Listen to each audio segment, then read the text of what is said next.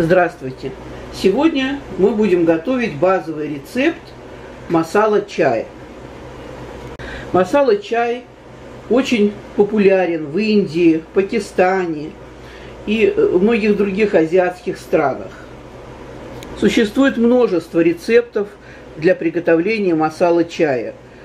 Мы можем сказать, сколько хозяек в той же Индии или Пакистане, столько и вариантов приготовления этого чая – я вам сегодня покажу абсолютно базовый рецепт для приготовления масала чая. Если у вас есть возможность посетить индийские или пакистанские супермаркеты, там есть даже специальная смесь специй, а, которая называется масала чай. Я вам хочу сказать, что там перемолотый и э, имбирь сухой, и э, мускатный орех, гвоздика, корица, э, перемолотая лимонная трава, сухая мята. В общем, достаточно много э, черный э, острый перчик, достаточно много всяких вариантов. Такой э, перемолотые специи покупают хозяйки и э, сверху от того, что они кладут сами, например, в масало чай, они могут положить щепотку этих специй, потому что они достаточно концентрированные, эти сухие специи. Вот. Но опять же, это не обязательно. Вот сейчас я вам даю тот рецепт базовый. Например, мне он очень нравится, я с удовольствием пью его в таком виде, в котором есть. Некоторые кладут сверху, например, лимонную траву, или кладут корицу, или гвоздику, в общем-то, вариантов, как я уже говорила, множество. Итак, сегодня мы готовим базовый рецепт масала чая. Итак, что нам для этого потребуется? Здесь я делаю рецепт сегодня на э, два человека, на две чашки чая. Значит, у меня две чайные ложки черного чая. Обычный, какой у вас есть, без всяких отдушек. Обычный черный чай. Вот такой кусочек свежего имбиря у меня здесь очень мелкий кардамон. Значит, вот такого крупного кардамона по две штучки на каждую чашку чая. Здесь у меня чайная чашка воды и чайная чашка молока. В общем-то, я готовлю 50 на 50. Кто-то хочет больше воды, кто-то хочет больше молока. Это зависит от вашего личного вкуса. И сахар, опять же по вкусу, столько, сколько вам нравится. Я буду класть 2 чайные ложки на э, чашку э, чая. Итак, начнем. Наш имбирь я очищаю вот от этой вот верхней кожицы. Вот так.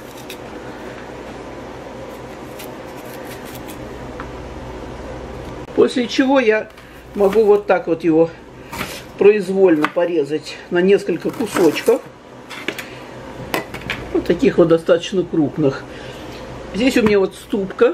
Я кладу в ступку и вот так вот еще раздавливаю. Итак, посмотрите, вот так вот я раздавила имбирь в ступке.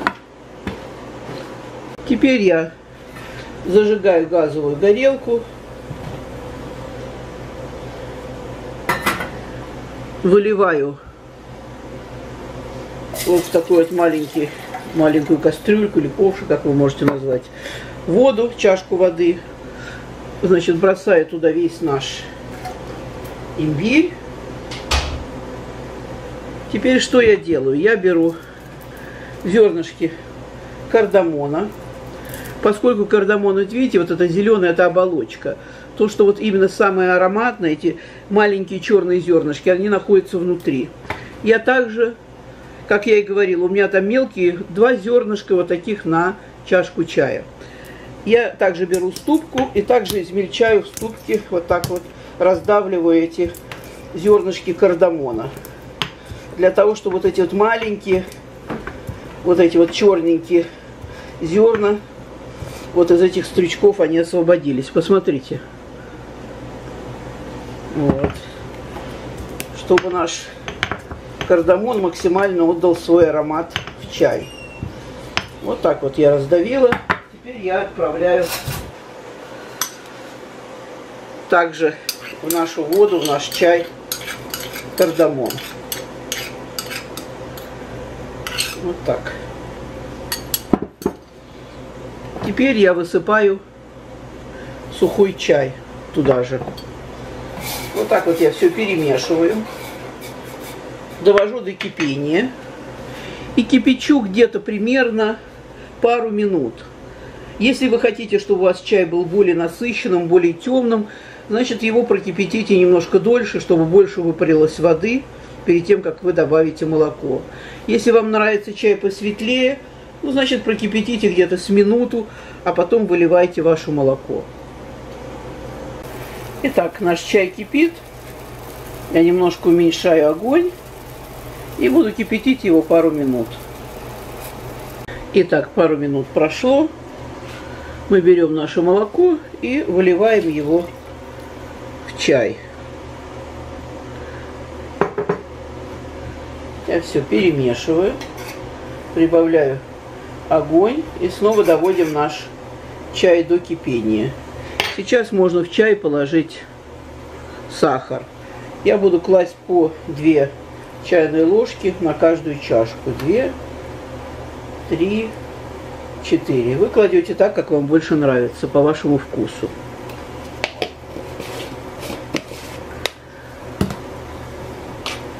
Так, я снова все перемешиваю.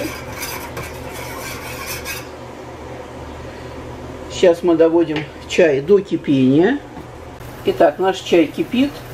И еще раз повторяю, для тех, кто не любит крепкий чай, вы можете его сразу выключать и э, через ситечко разливать по чашкам. Для меня, я люблю его крепкий, еще там 15-20 секунд он у меня покипит, потому что мне нравится более насыщенный чай. Итак, наш чай готов.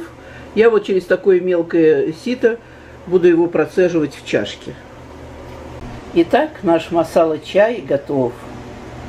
Желаю всем приятного аппетита и хорошего дня.